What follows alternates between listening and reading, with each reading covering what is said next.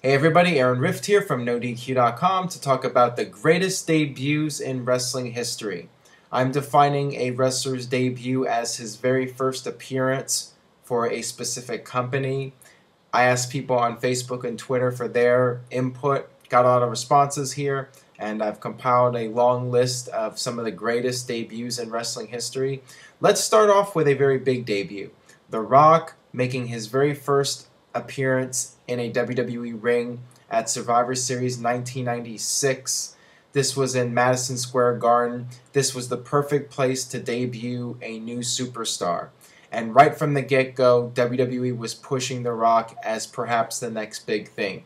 Jim Ross himself said on commentary, that guy right there is going to be the blue chipper. So WWE had high hopes on The Rock. And granted, it wasn't the Rock character that we've come to know and love. It was Rocky Maivia. Uh, he was very green and he was a clean cut baby face, an old school 80s style baby face. But on that night, he shined in the ring, and, and uh, it did look like he had a lot of potential. And um, it was a big night for him. He, he he got his win in the Survivor Series match, so he, he kicked it off on a high note. I mean, what better way to debut? Madison Square Garden on a major pay per view, and you win your match. I mean, so big debut for The Rock at Survivor Series that year. Next up, Goldberg's debut in 1997 in WCW. The reason I included it on this list is because it was the start of the Goldberg streak, and um, it, it would be a sign of things to come. Goldberg came out there, made short work of his opponent, and um, he just pointed at the camera and said, Number one. And uh, that was the start of what would be one of the greatest runs in WCW history and, and one of the biggest stars that WCW created. It all started on that night when Goldberg made his debut. I believe it was in Salt Lake City, correct me if I'm wrong, but that was the start of the Goldberg era. Next on the list, Big Show's debut for WWE in 1999. And an honorable mention um, Big Show as the Giant, making his debut at WCW, um, wearing supposedly Andre the Giant's shirt and throwing it in Hogan's face. Um, Big Show debuted in WCW as the Giant right at the top, feuding with Hogan. That's an honorable mention, but I like this debut even better with WWE because this was a major signing. WWE signing uh, Paul White away from WCW. And what better? I mean, this was a great way to debut him. Have him get involved in the Stone Cold Steve Austin Vince McMahon cage match main event. He literally comes from under the ring, rips through the ring and uh, he he's so powerful. He picks up Steve Austin and throws him into the cage, and the cage just collapse collapses. And uh, I mean, it was a really spectacular visual to see Austin uh, literally break through the cage, and uh, he falls to the floor and wins the match. So I mean, it was a good it was a good way to debut Big Show, but have Steve Austin still win the match. So I, I actually thought it was really well done, and um, you know, Big Show was off to a good start with that debut. The Radicalz in 2000. This was a huge debut because it wasn't just one guy. You had four guys, four uh, mid card superstars, and uh, guys that were on the verge of becoming main eventers come to WWE. This was a huge moment um, for WWE to pick up what many considered to be four of the most talented wrestlers, not just in WCW, but in the entire world. And now they were in WWE and uh, they, you know they just showed up at ringside randomly, and it, it was a huge shocker because um, you know people had known about all the turmoil with um, the Radicalz and, and WCW and all that craziness, but nobody expected all four guys to just randomly show up on Raw. So I mean, it was a really big deal at the time. And speaking of big deals, Eric Bischoff showing up on Monday Night Raw this was something that you never thought in a million years you would ever see. And, um, you know, this should be at the top of the list for the greatest debuts in wrestling history. Um, the only thing I didn't like about it is that you could have done a Vince versus Eric feud, uh, but still, to have the two of them embrace was completely surreal. Uh, something you never thought you would see, and just him being in a WWE ring was unbelievable. I mean, it was really. Uh, a, a, special moment to see him on Monday Night Raw. And just like I said, very surreal. And uh, Booker Booker T said it best. Tell me I did not just see that. Diamond Dallas Page making his WWE debut, and you know, technically he was at WrestleMania 6, but he was just uh, one of the honky tonk man's car drivers, so you know that doesn't count. This was officially DDP's WWE debut um, as uh, the man who was stalking the Undertaker's wife Sarah.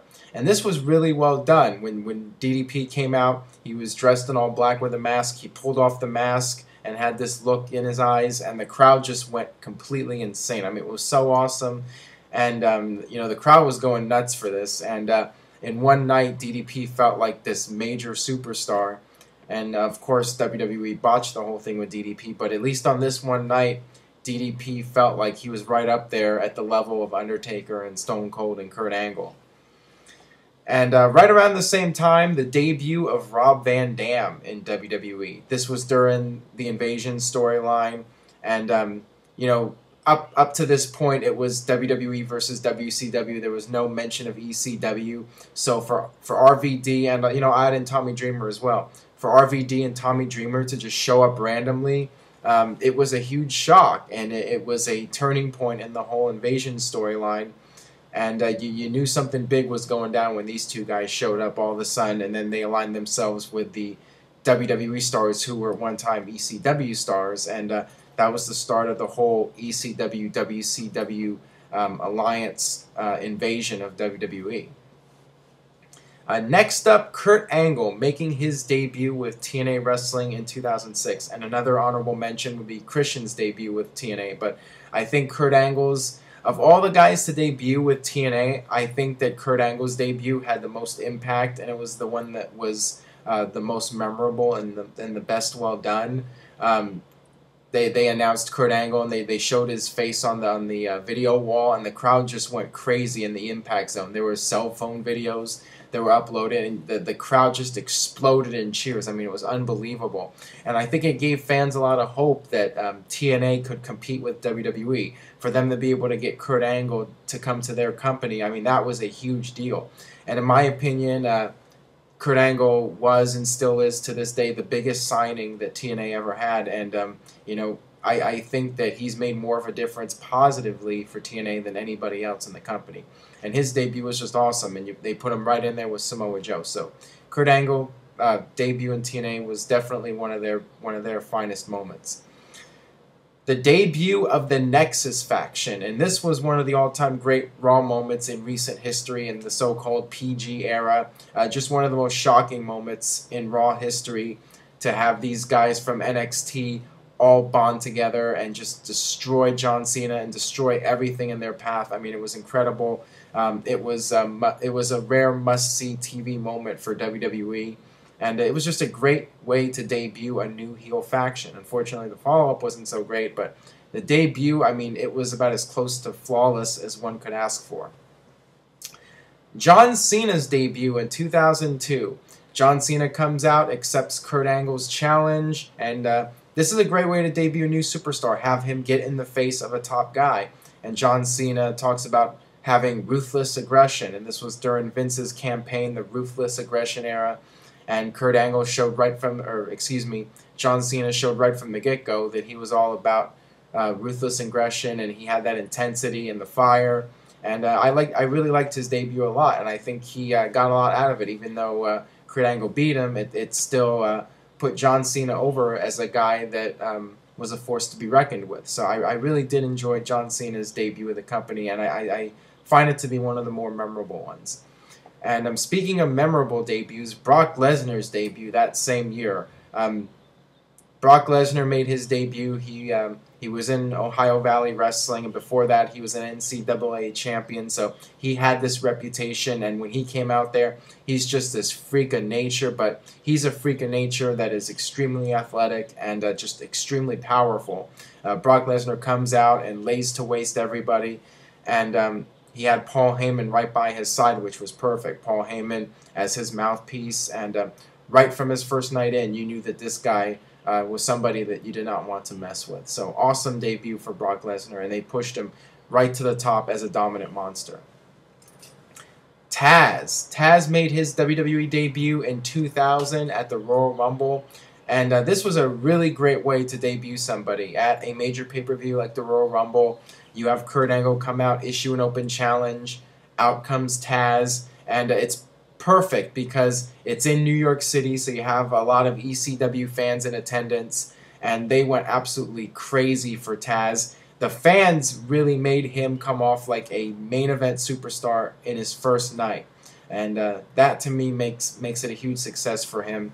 Uh, Taz comes out and uh, just chokes out Kurt Angle, and uh, right from the get go, he is a serious contender. So WWE did everything right here, in my opinion, with the debut of Taz. But once again, you know, they made some mistakes afterwards, and the follow up wasn't so great. But the debut, I mean, just about perfect. I, I really couldn't have done it a better way. And speaking of great debuts at MSG, CM Punk on uh, ECW on Sci-Fi uh, in the Hammerstein Ballroom. This was the perfect place to debut CM Punk. I mean, it's in New York City, so you have a lot of Ring of Honor fans there and um, a lot of diehard wrestling fans, and everybody in that building knew who CM Punk was. If he had just debuted in some random town, he wouldn't have gotten much of a, of a reaction. But he debuts here in Hammerstein Ballroom, and he gets a main event superstar pop and the crowd was chanting CM Punk. So it was the perfect place to debut him.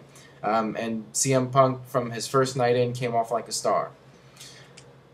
And one of my all time favorite debuts, the debut of Kane in 1997 at Badd Blood. Uh, this was just a great way to debut a character, have him interfere in the main event.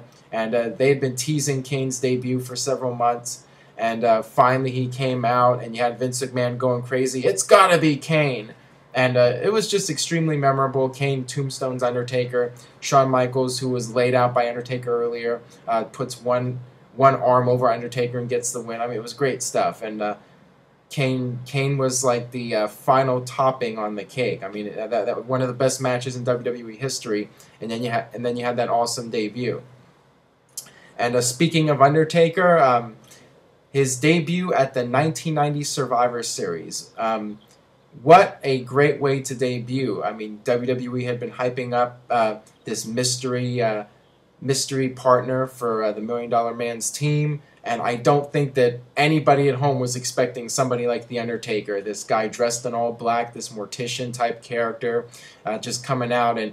Uh, they were panning to the crowd, and all these people were, were terrified. I mean, it was great. And then Undertaker just dominated everybody in the ring, and then I guess he was counted out or DQ'd or something. I forgot, but um, right from the first night, um, they they pushed him like this ultimate unstoppable monster. It was great stuff, and it led to one of the greatest runs in WWE history, and, and one of the all-time great characters, The Undertaker. And finally, the number one greatest debut in wrestling history, the one who shocked the wrestling world, the Shockmaster. No, I'm kidding. Not the Shockmaster. The number one debut in wrestling history, I think everybody will agree with me for the most part. Chris Jericho debuting on Raw 1999, confronting The Rock. Uh, when the countdown hit, you know, everybody was excited, and uh, then all of a sudden you see the letters Jericho splash on the screen, and the place just erupted. And uh, I was at home, and I had goosebumps when I saw the letters. I, I was so excited, and um, Chris Jericho came out, and I was just so happy for him because you, you hear you heard all the stories about him in WCW not getting pushed hard and not getting the opportunity, and here he is on Raw first night in, he's uh, going face to face with The Rock, and um, he's he's an instant superstar. So I thought that this was so cool, and they had the perfect music for him, and the entrance and everything, and uh, the signs in the crowd uh, for Jericho. I mean, it was so cool. Jericho cut a great promo, and then The Rock uh, put him in his place. Very entertaining stuff. Uh, in my opinion, nothing topped that debut. Nothing was better than Chris Jericho making his debut in WWE in uh, 1999 as the Y2J character. All right, so that's my thoughts on uh, the greatest debuts in wrestling history. Uh, leave a comment on YouTube, youtube.com slash NoDQCAW. Let me know what you think. And stay tuned to NoDQ.com for all the very latest in WWE and TNA. Thanks for watching.